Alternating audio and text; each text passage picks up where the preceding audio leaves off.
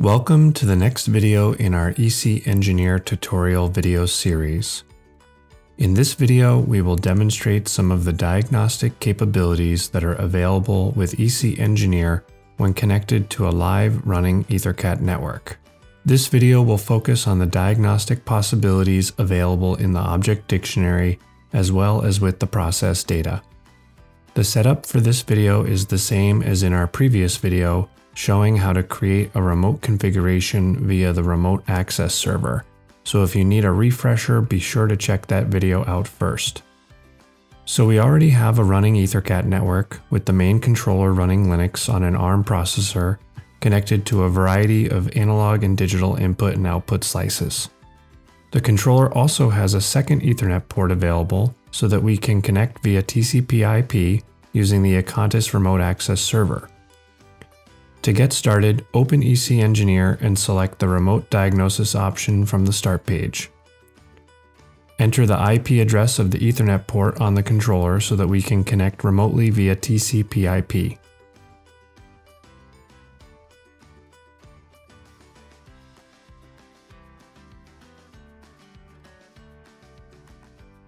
In the Project Explorer area, you can see all the slave devices that were discovered on the network and note that they are already in the operational state.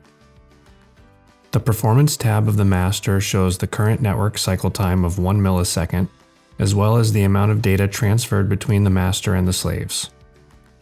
For this small network, the average load is just a few percent of the total capacity. Now let's dive into some of the possibilities with the object dictionary for the master and slaves. Selecting the COE Object Dictionary tab will load the object dictionary of the master. Here you can see various information about the master like the name and the version, but the master object dictionary mostly contains objects with diagnostic and statistic data based on the ETG specification 5001.3 for the MDP Fieldbus Gateway profile.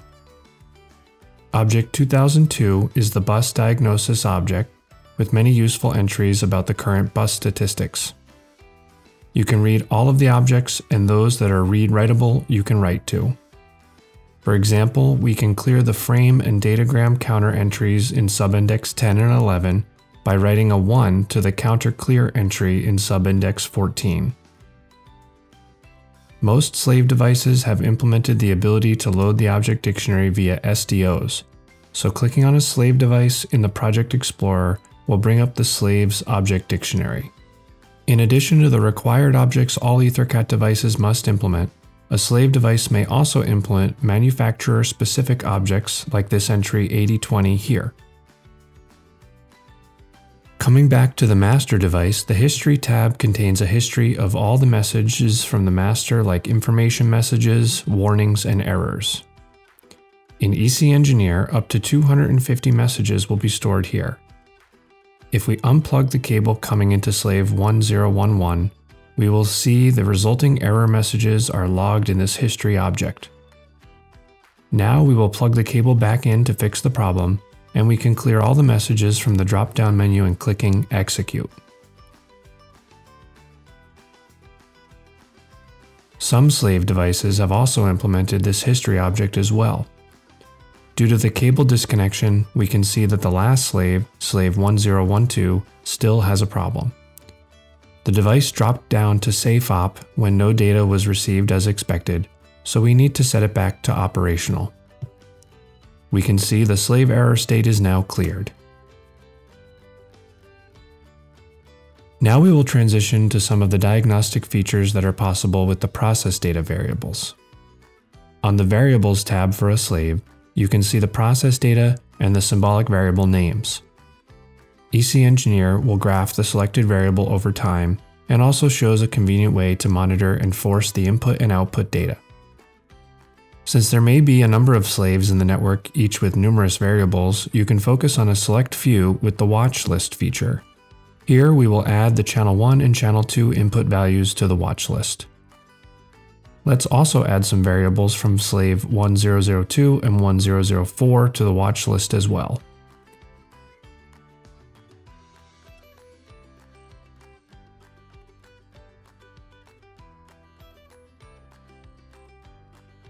The watch list is on the master node, so click on the master in the Project Explorer and then the watch list tab. Here are the specific variables we chose to monitor on the watch list. You can even save the watch list as a CSV file or load a previously saved watch list. The watch list provides a way to monitor a subset of process data to observe the input values from the slave devices and the output values created by the master application. For example, we will push the button on slave 1004, which captures the digital input, and see the changes in EC Engineer.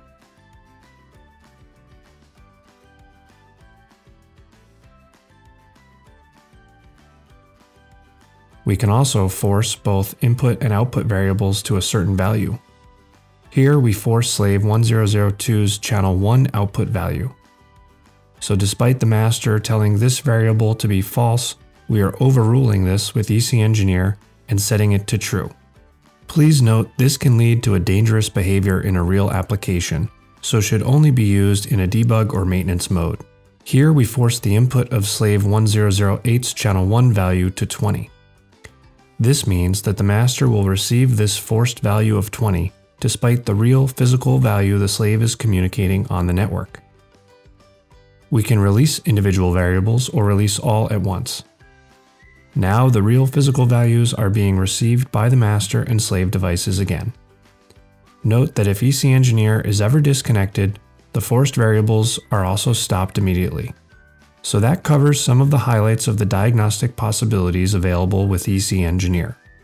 We only briefly touched upon the object dictionary and process data features, but we will cover more diagnostic capabilities like accessing ESC registers, slave error counters, file over EtherCAT, and even distributed clocks in subsequent videos. Thanks for watching and please subscribe to our channel as we will be bringing you many more videos about EtherCAT. Please leave a comment below if you found the video helpful, or if you have a question, you can also get in touch with us on our website.